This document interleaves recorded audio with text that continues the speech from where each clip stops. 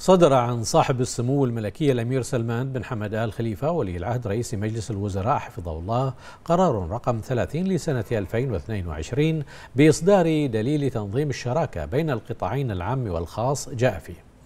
المادة الأولى يعمل بأحكام دليل تنظيم الشراكة بين القطاعين العام والخاص المرافق لهذا القرار.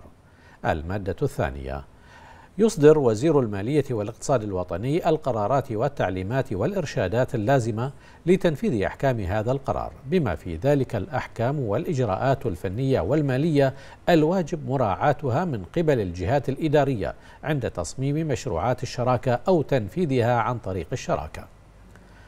تكون وزارة المالية والاقتصاد الوطني مسؤولة عن التحقق من الالتزام بتنفيذ أحكام الدليل المرافق لهذا القرار والقرارات والتعليمات والإرشادات الصادرة طبقا لأحكامه.